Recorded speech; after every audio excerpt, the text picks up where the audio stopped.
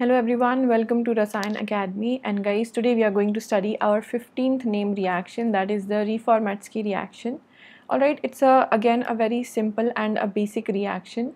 So what is it? First of all, nucleophilic addition of organozinc reagents generated from the alpha haloesters to carbonyls. So what do you have to identify in this reaction is first of all the alpha haloester and you also have to identify if there is a zinc which is given. All right so let's first of all look at this mechanism uh, the reaction which is written over here. So you can see what is alpha haloester you have an ester group over here carbonyl and OR and on the alpha carbon you have a bromide. It could be any uh, uh, halogen bromine, iodine as well as chlorine, not fluorine because the bond is not going to break, not very polarizable. So these halogens uh, give this reaction very nicely. Alright, and what is going to happen in the presence of zinc? In the presence of zinc, what happens to this alpha haloester is something like this. Either you can consider it as an oxidative addition step between the uh, carbon and bromine bond. This one, what is oxidative addition guys? This is how the oxidative addition takes place and zinc when there it is there in the zero oxidation state now it goes to plus 2 oxidation state and it is going to be connected to this carbon like this. So either you can uh, consider it as a oxidative addition reaction and in some books it is also written that uh, let's say or let's say this is the bond right? This is your ester let's say and the zinc is transferring electrons. It is sometimes also written that zinc is in zero oxidation state right now.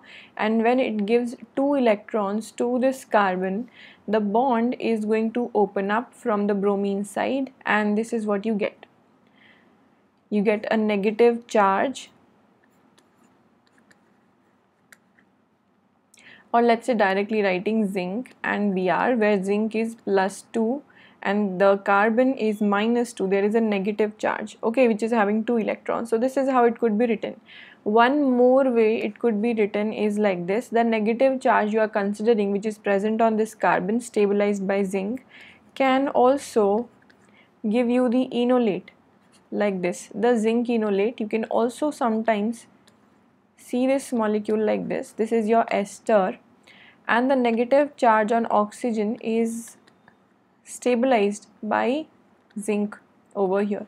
Alright so all of these three methods are correct. If you look at this example directly by oxidative addition very good it's correct or by this process is electron transfer. This is also correct. And after electron transfer or oxidative addition if you see the zinc connected to carbon then also it's correct. And if you see the zinc connected to oxygen then also it's correct. So basically this is just giving you the ester enolate isn't it? It's just giving you the ester enolate. And ultimately the enolates are going to attack from the carbonyl carbon only. Okay it is the ester enolate and they are going to attack from the from this carbon sorry the alpha carbon. Always there is not going to be O alkylation when we are having some metal very nicely and strongly coordinated to the oxygen. You must keep this in mind. This happens with the alright there is an oxygen there is a R group. This happens either with organolithium. You can write zinc over here alright or you can write lithium over here or you can write magnesium over here. Right? So for these when we are having the uh, enolate formation for these metals which are covalently bonded to oxygen there the O alkylation uh, is very very less. So you are mostly going to have the C alkylation only alright so this is all of the reaction all of the stuff about the enolate which is getting formed. Now further if the enolate forms it is definitely going to attack on this carbonyl carbon. And as uh, like you get an aldol product or in Claisen ester condensation that we have seen we are going to get a condensation product basically.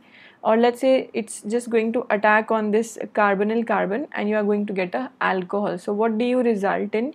You started from a ketone alright and then you also started from alpha haloester to finally give you beta hydroxy ester again.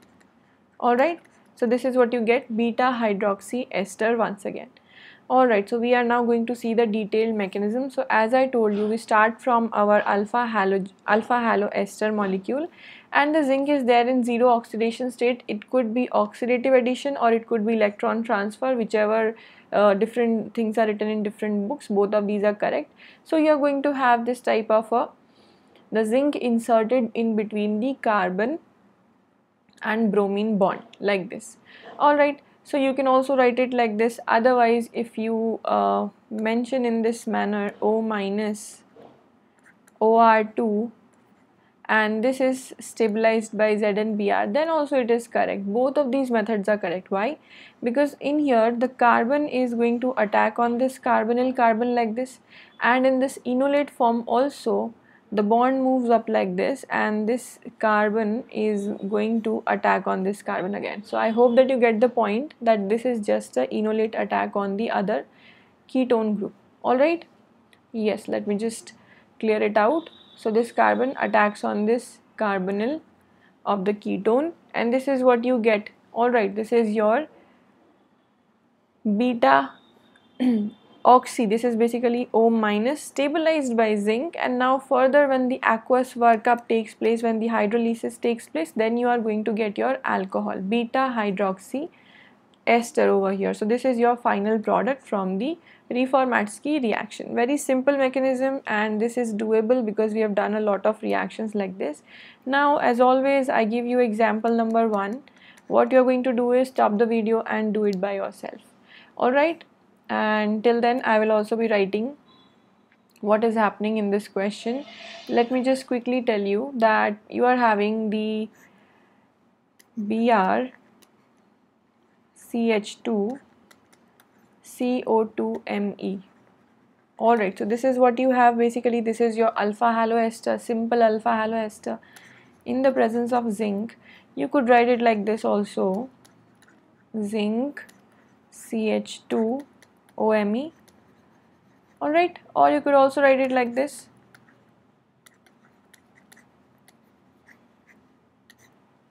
Okay.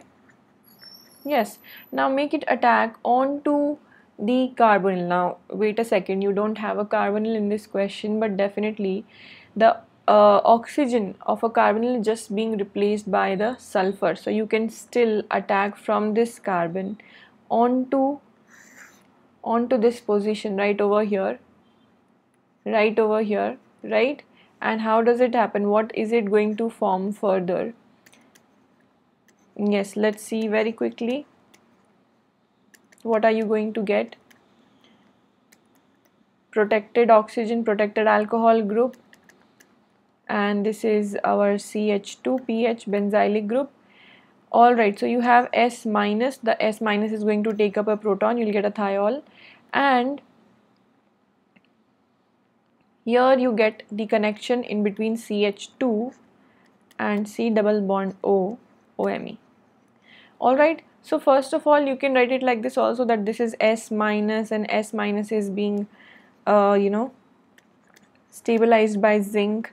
Alright, soft soft interaction, it's going to be good alright and further after hydrolysis you are finally going to get the thiol. Now after the hydrolysis there is a removal of this acidic proton from here one acidic proton removed from this CH2 and the SH group or the thiol group just like the OH is removed will be removed. And finally you get your molecule. I hope that you will be able to draw this since we have been doing the same mechanism again and again I hope that it would now be very easy for all of you how to do the elimination. First of all just remove the first of all just protonate the sulfur and then uh, remove the H2S molecule from here. Alright just like we remove water. And this is what you get. This is your product isn't it? So just a difference over here in the previous mechanism that we have studied. So in the previous mechanism we ended it on the beta hydroxy ester uh, along with aqueous workup if you are also providing acidic conditions and good enough to form the alpha beta unsaturated ketone alright then you are definitely going to get this alright. So you can do the removal of the water from here to get to end up with the alpha beta unsaturated ketone also by doing the removal of water. Alright. Similarly here we are removing H2S and finally we get this uh, product over here THF reflux ke andar in this uh, you know condition. You are getting the alpha beta unsaturated ester. The same thing which is happening with the with the aldol product also alright? But there you in the aldol guys if you have noticed in the aldol you get the alpha beta unsaturated ketone or the aldehyde. But let's say if you want to make the alpha beta unsaturated ester what are you going to do? You are going to do Reformatsky reaction alright just remember it like this alright if you want to prepare alpha beta unsaturated ester you are going to go with the Reformatsky reaction. Okay easy to remember it would be. Now you can try this out on this example also. You can try out the mechanism by yourself. So first of all what do you think you are going to do? First of all let's make this enolate. Alright and then you can make it attack onto the carbonyl carbon given over here. Right. Definitely the attack is going to be over here. And what else do you get? OME a double bond. This ring is not going to be disturbed. O minus which is stabilized by ZnBr alright and the bond between this carbon and this carbon. Alright so we are I'm just going to write this ethyl group as ET because it's easier to understand. Alright and then just double bond O and this is our OME yes something like this. This is what we are getting. Alright so after again after hydrolysis you are going to get this product after hydrolysis. You are going to get this product over here OH and the ethyl could be written just like uh, it is written in the answer. Alright and you have the ketone and you have OME once again. Now further as already discussed you can have you can remove a proton and this side this time this proton in the product. Why is this proton being removed? This proton being removed giving a double bond inside the ring. First of all this is a stable product. This double bond is going to be more substituted if we are removing the proton from here. Alright more substitute uh, more stable and is able to do conjugation. It is inside the ring and it is able to do conjugation with this system and that is why it's forming this product as the major product. Alright so yes, this is its second example for the Reformatsky reaction. And finally you are getting the same thing. It is not the alpha beta unsaturated ketone, it is the beta. This is let's say this is the alpha carbon beta gamma. So in this example you have beta gamma unsaturated ester. Alright yes you have the beta gamma unsaturated ester because of the removal of the ring proton which is going to give you a more stable alkene and more substituted alkene. Alright yes so here we are guys and I hope that you are now going to be able to do a lot of uh, reactions lot of questions on the Reformatsky reaction. And also if you like this video give it a thumbs up. Also share it with your friends guys. Do share it alright and yes if you want to join Unacademy you can follow me over there. I'm a CSIR NET educator for chemical sciences and guys I'm also an educator on the plus. So if you want you can also join plus for the syllabus completion and do check out the description below for all the important links to my telegram channel as well as to my unacademy profile.